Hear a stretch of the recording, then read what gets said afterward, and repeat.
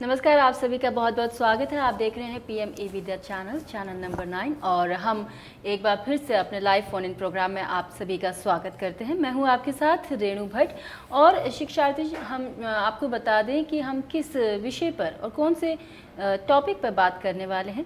हम नवी कक्षा के विद्यार्थियों के लिए संस्कृत का शीर्षक लेकर आए हैं और शीर्षक है उपसर्गह और आपको विस्तार से जानकारी देने के लिए हमारे साथ स्टूडियो में मौजूद है हमारे विशेषज्ञ। आप हैं doctor Ved Prakash Mishra assistant professor department of education language NCERT से। सर बहुत बहुत स्वागत है आपका। धन्यवाद। जी। और आप सभी श्रोता और शिक्षार्थी और व्यूवर्स हमारे साथ जो जुड़े हुए हैं आप हमें कोई भी क्वेरी या सवाल आपके मन में आए तो भेज सकते हैं। अगर उपसर्ग विषय से जुड़ा हुआ कुछ भी सवाल है तो आप हमें कॉल कर सकते हैं। हमारा टेलीफोन नंबर है double eight double zero double four zero double five nine और आप हमें ईमेल भी कर सकते हैं। हमारा ईमेल एड्रेस है D T H dot class nine at the rate C I T dot nic dot I N जो इस वक्त आपके टीवी स्क्रीन पर फ्लैश हो रहा है। तो ये माध्यम है जिनसे आप हमसे जुड़ सकते हैं। हमारे विशेषज्ञ से सीधे अपने सवाल पूछ सकते हैं तो सर जब तक हमारे विद्यार्थी हमसे जुड़ते हैं हम आपकी तरफ़ मुखातिब होते हैं और हम आपसे जानना चाहेंगे कि जो हमारा शीर्षक है उपसर्ग जी जी। इसके बारे में आप क्या क्या बताना चाहते हैं उपसर्ग भाषा का एक पार्ट है एक भाग है हम्म। मतलब हम ऐसे समझ सकते हैं कि जो हम व्यवहार में भाषा का प्रयोग करते हैं तो उसमें कई शब्द होते हैं और उनके अलग अलग नाम होते हैं जैसे संज्ञा सर्वनाम क्रिया क्रिया विशेषण विशेष्य आदि। तो जो शब्द बनता है शब्द की जो निर्मिति होती है वो धातुओं से होती है। आप ऐसे समझें जैसे रॉ मटेरियल होता है। हम्म, हम्म। तो बिल्डिंग बनाने के लिए हमें ईंटा गिट्टी सरिया सीमेंट सब चाहना होता है। वैसे ही शब्दों की भी एक ऐसी ही दुनिया है, जो धातुओं से बनती है। और केवल अकेले धातुओं से तो बन नहीं सकता तो मूल धातु शब्द होते हैं। फिर उसमें प्रकृति, प्रत्यय, प्रत्ययों के बीच में कुछ क्रियाएँ, जिसे संधि, आगम, ये सारी चीज़ें हम समझते हैं। ऐसे ही प्रत्ययों की तरह आप समझें प्रत्यय बाद में लगते हैं उपसर्ग पहले लगते हैं। जी। तो भाषा का एक अवयव है जिसे हम उपसर्ग के नाम से जानते हैं। इन उपसर्गों की संख्या 22 है। और ये उपसर्ग इतने महत्व के हैं कि इनका जब हम प्रयोग करते हैं और जिस धातु के साथ जोड़ देंगे तो ये अर्थ को बदल देते हैं। जैसे आप समझें हार शब्द है। हार का अर्थ सबको पता है प्रसिद्ध अर्थ है जो हम गले में धारण करते हैं। स्वर्ण का हो सकता है या पुष्पमाला का हो सकता है। तो माला का होगा तो आ, माला का हार होगा पुष्पहार होगा। सोने के हार होंगे अलग अलग तरह के हार हो सकते हैं। लेकिन इसी हार शब्द में यदि प्रा जोड़ दिया जाए तो क्या होगा? प्रहार। अब प्रहार का अर्थ माला नहीं रहता।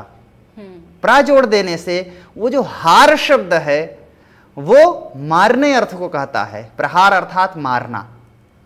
ऐसे ही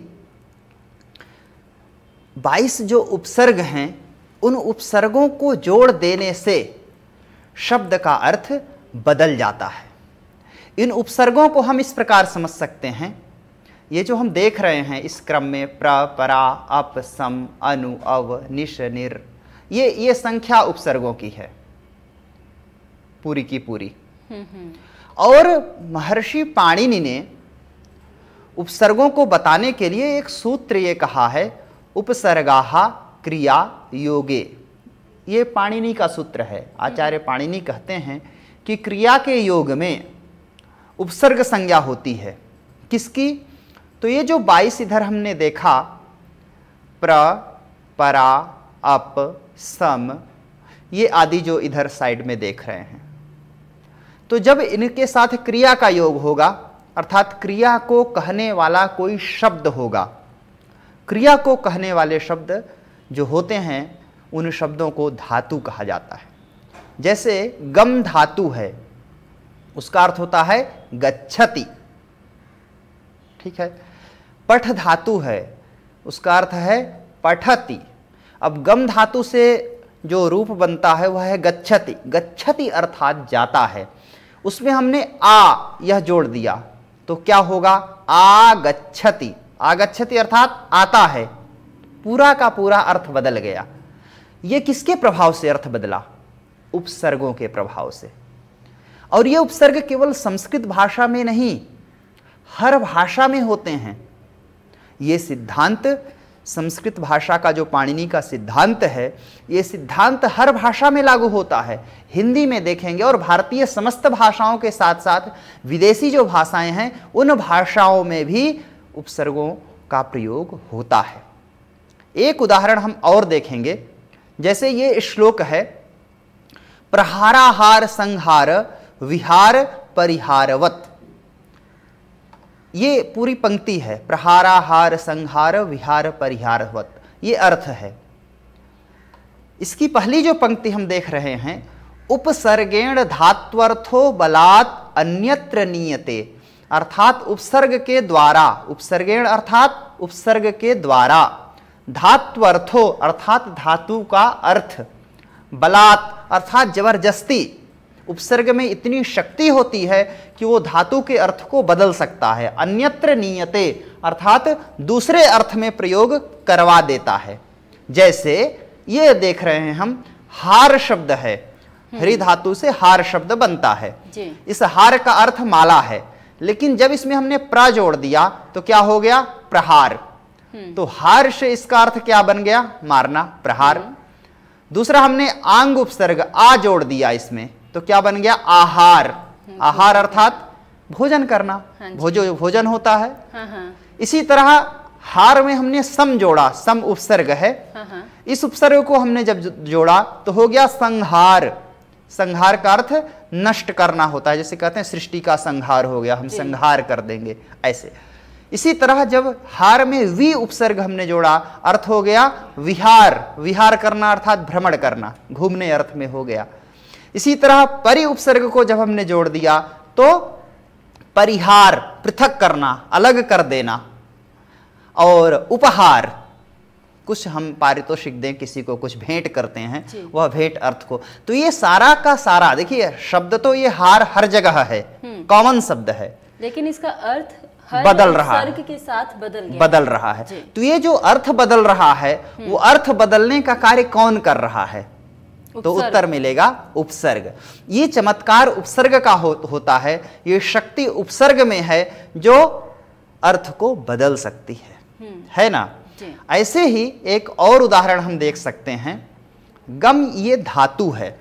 हम्म। वहाँ हार हमने जो देखा था वो कृदंत प्रत्यय प्रयोग था। ये हम मूल धातु से देखते हैं गम धातु है। गम धातु का अर्थ जाना अर्थ होता है। जाने के लिए आचार्य पाणिनि ने गमलरी गतौ धातु का प्रयोग किया है। अब यहाँ पर आप दूसरे क्रम में देखेंगे उपसर्ग है। कौन सा उपसर्ग है? निर।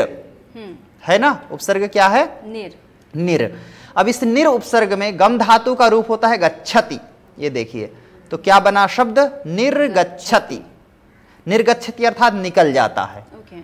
है ना हाँ। और गच्छति का अर्थ है जाता है हम्म। अब आप देखेंगे गच्छति हर जगह आपको कॉमन दिखाई पड़ेगा जैसे हाँ, हाँ। उप को जोड़ा तो क्या बना उपगच्छति अर्थात समीप जाता है हम्म। निर्गच्छति अर्थात निकल जाता है और उप जोड़ दिया गया तो उपगच्छति समीप जाता है इसी तरह अनु को जोड़ा हमने तो अनुगच्छति पीछे पीछे जाता है अनु पश्चात हम्म। अर्थ में प्रयोग होता है। इसी तरह उत उपसर्ग को जब हमने जोड़ा तो उदगच्छति हम्म। ऊपर जाता है। अवगच्छति अव उपसर्ग जोड़ने से अवगच्छति अवगच्छति अर्थात समझता है। ऐसे ही सभी का हम देखेंगे कि उपसर्गों को जोड़ देने से धातु के अर्थ का जो अभिप्राय है वो पूरा का पूरा बदल जाता है। ये पूरी शक्ति जो है उपसर्ग की है है ना? यहाँ जो श्लोक ऊपर देख रहे हैं प्रपरा ये उपसर्गों की गिनती कराई गई है कि ये बाईस उपसर्ग हैं तो केवल संख्या के लिए यहाँ दिखाया गया है या आप ये समझ सकते हैं कि उपसर्ग कौन है इसके लिए ये ऊपर श्लोक दिया गया है। ठीक इसी तरह हम और उदाहरण देख सकते हैं। थोड़ा सा डीप अगर हम जाते हैं और गहराई में देखते हैं, ये प्रा आप देख रहे हैं, प्रा नाम का एक उपसर्ग है जो पहले हम अभी पढ़ रहे थे।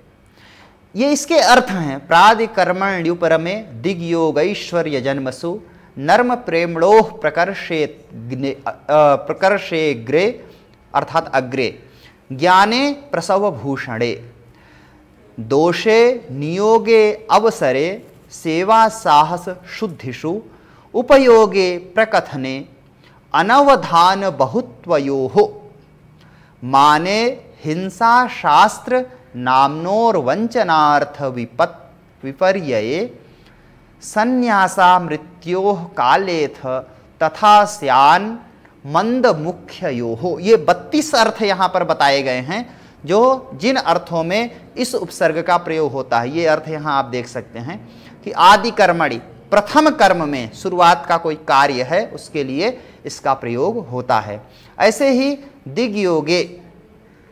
तो ये भिन्न भिन्न अर्थ हैं हम इन अर्थों पर अभी नहीं जाएँगे। जिन्हें आवश्यकता हो क्योंकि ये ज़्यादा डीप हो जाएगा बच्चों के हिसाब से कक्षा हाँ नौ के बच्चों के लिए ये ज़्यादा सूक्ष्म होगा इसलिए। हम इस पर ज़्यादा विवेचन नहीं करेंगे इसके जो सामान्य अर्थ हैं बाईस उपसर्गों के उनको आज हम देख लेते हैं जी। जैसे एक छह उपसर्गों की सूची इसमें हम देख रहे हैं इसके बाद अगले स्लाइड में होगी प्रा उपसर्ग है जिससे शब्द बन रहा है प्रभवती प्रभवती अर्थात उत्पन्न होना प्रकर्ष ये प्रकर्ष में भी प्रा उपसर्ग लगा हुआ है अर्थात हम्म। उत्कृष्ट अत्यधिक महत्वपूर्ण जो हो इसी तरह प्रयत्न हम्म। यत्न तो सुनते हैं हम यत्न कर रहे हैं हाँ, किसी हाँ। कार्य के लिए प्रयास कर रहे हैं हम्म। लेकिन प्र जुड़ जाने से बहुत अधिक प्रयास कर रहे हैं कुछ प्रकृष्ट प्रयास कर रहे हैं ये अर्थ आता है तो इस तरह प्रा के हमने जो पीछे 22 अर्थ देखे थे बाईसों को यहाँ नहीं बत्तीस अर्थ थे उनको सबको यहाँ नहीं कह सकते एक दो दृष्टांत के लिए हम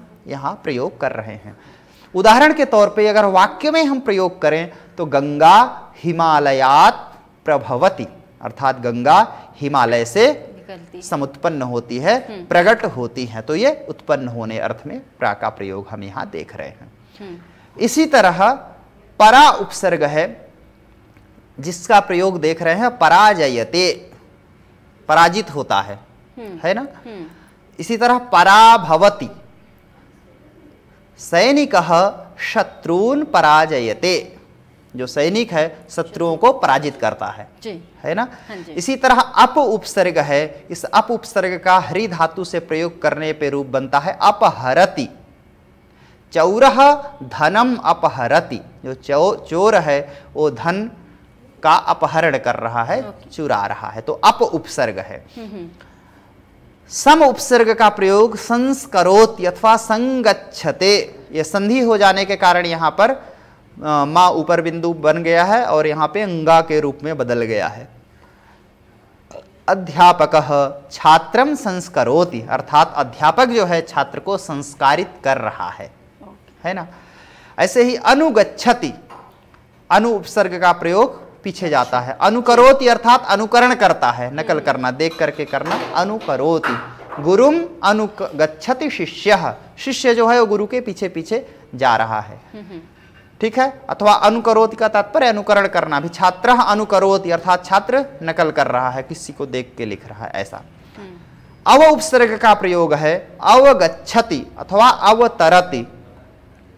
तो अवगछति अवतरत अवतरति माने अवतरण अवतार लेने अर्थ में हम्म। इसका प्रयोग होता है। अवतार लेना तो अवतरति एक उदाहरण। दूसरा अवगछति समझने अर्थ में प्रयोग।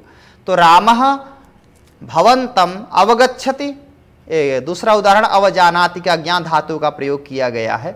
इस तरह देख करके हम ये पहचानते हैं कि उपसर्गों का प्रयोग जिन शब्दों में किया जाता है प्रश्न इस तरह के बहुत सारे होते हैं बच्चों के लिए कि उपसर्ग का चयन कीजिए। इस वाक्य में उपसर्ग कौन सा है? तो उपसर्गों को छाटना या उपसर्गों को देख करके रिक्त स्थानों की पूर्ति करना हम बाद में वो देख लेंगे यानी कि हम्म। बच्चों को बताना होता है कि इन शब्दों में उपसर्ग कौन सा है इस तरह के प्रश्न होते हैं हम्म। वो हमें ध्यान रखना चाहिए और वो तभी आएगा जब हम शब्दों को बार बार देखेंगे हम्म। तो उनकी हमें पहचान हो जाएगी ये रटने की ज़रूरत नहीं है।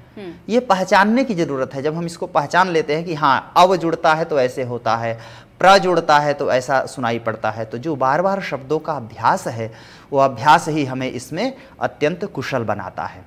आगे हम अगर देखें तो सातवां उपसर्ग है निर उपसर्ग निर उपसर्ग निर्गछति निराकरोति।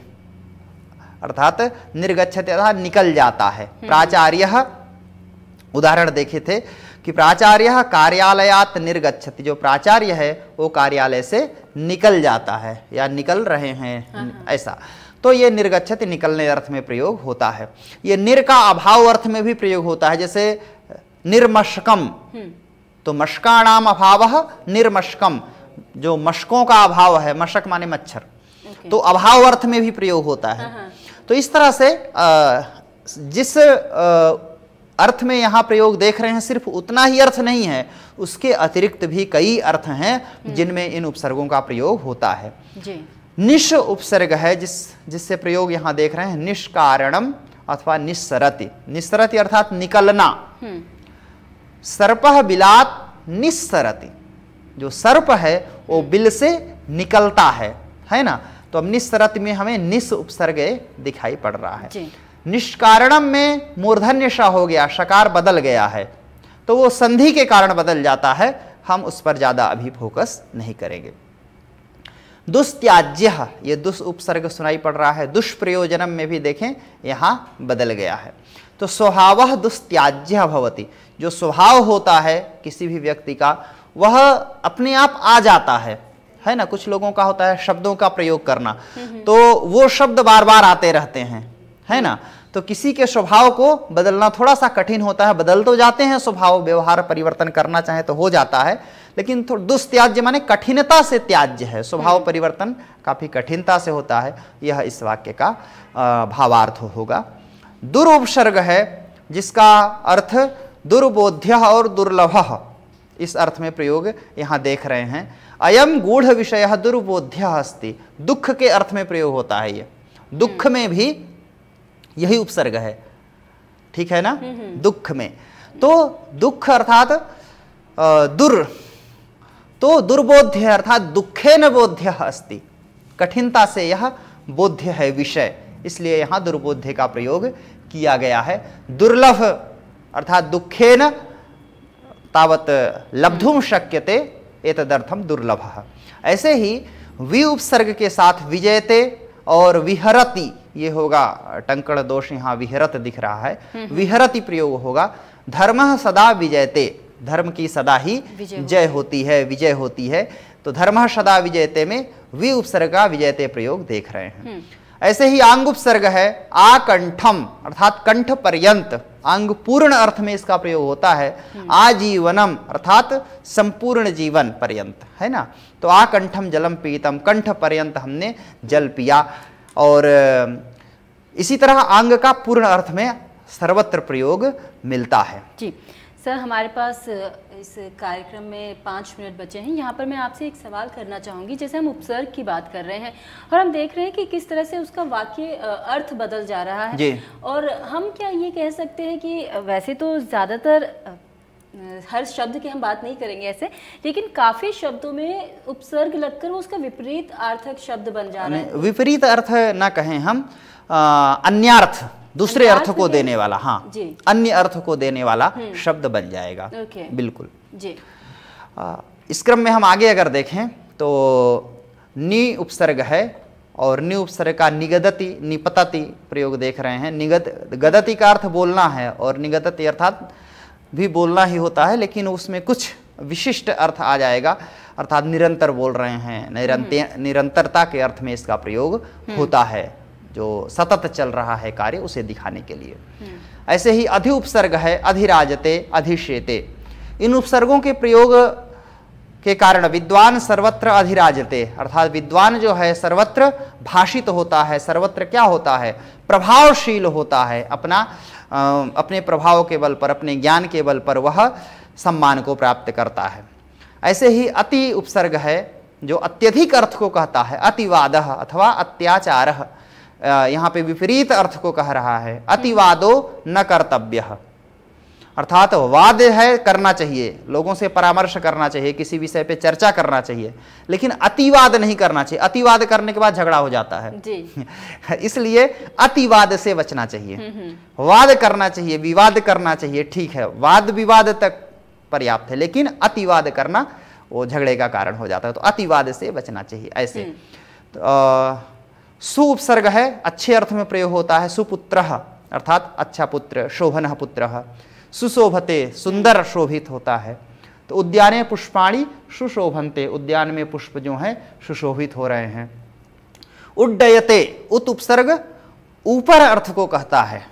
है ना? अथवा उत्कृष्ट अर्थ को कहता है। तो यहाँ पक्षिण आकाश है उड्डयंते जो पक्षी हैं आकाश में ऊपर उड़ रहे हैं। तो यहाँ पे ऊपरी अर्थ में प्रयोग हुआ है। इसी तरह अभी उपसर्ग है। अभी उपसर्ग अभिगछति अभ्यागत। तो अभ्यागत का अर्थ अतिथि भी होता है। तो इस प्रकार से अभ्यागत अर्थात अतिथि ही सर्व ही सदा पूजनीय अतिथि जो है सर्वत्र सबके द्वारा पूजनीय होता है। ऐसा यहाँ प्रयोग हो रहा है। प्रति उपसर्ग है प्रत्युपकार। प्रति उपसर्ग विपरीत को के लिए व्यक्त करता है कह सकते हैं।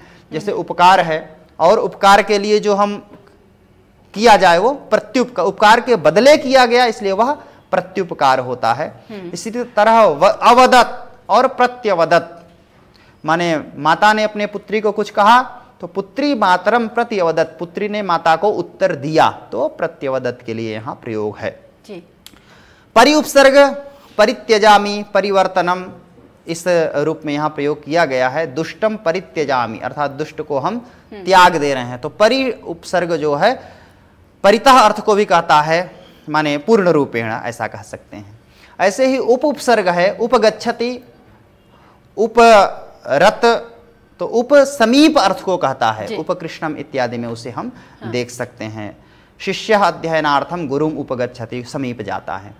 और अपि उपसर्ग जो है पिधान अर्थ और अपिधान अर्थ यहाँ पे प्रयोग किया गया है। हम्म। अपि अव्यय भी है जो भी अर्थ में प्रयोग किया जाता है। ऐसे हम आ, ये चीज़ समझ लें हाँ जी कि यहाँ पे मैं आपको रोक रही हूँ हाँ। कीजिएगा। क्योंकि समय हमें बिल्कुल इजाज़त नहीं दे रहा है कि हम इस चर्चा को आगे बढ़ाएँ। बिल्कुल इस उदाहरण को हम देख हाँ, करके और फिर इसे पूरा करते जानना हैं। चाहेंगे जी। बिल्कुल तो ये उप उपसर्ग के साथ जो धातु का प्रयोग है उपगछते उपगमिष्यते उपगछत उपागछत और उपागछित ये पाँच लकारों में हम देख रहे हैं। हाँ अर्थात उपसर्ग का प्रयोग हर जगह हो सकता है हम्म। और हर लकार के साथ हो सकता है जो उदाहरण में देखे हैं।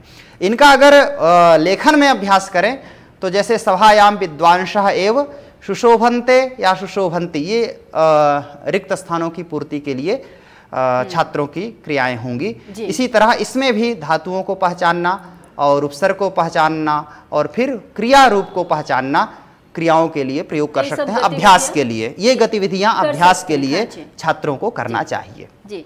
तो छात्रों जैसे आपको बताया सर ने कि ये तमाम एक्टिविटीज़ रही गतिविधियाँ रहीं जो आपको करना ज़रूरी है ताकि आप बहुत अच्छे से जाने कि उपसर्ग का क्या अर्थ है और किस तरह से शब्द से उपसर्ग हटाया जा सकता है और लगाया जा सकता है।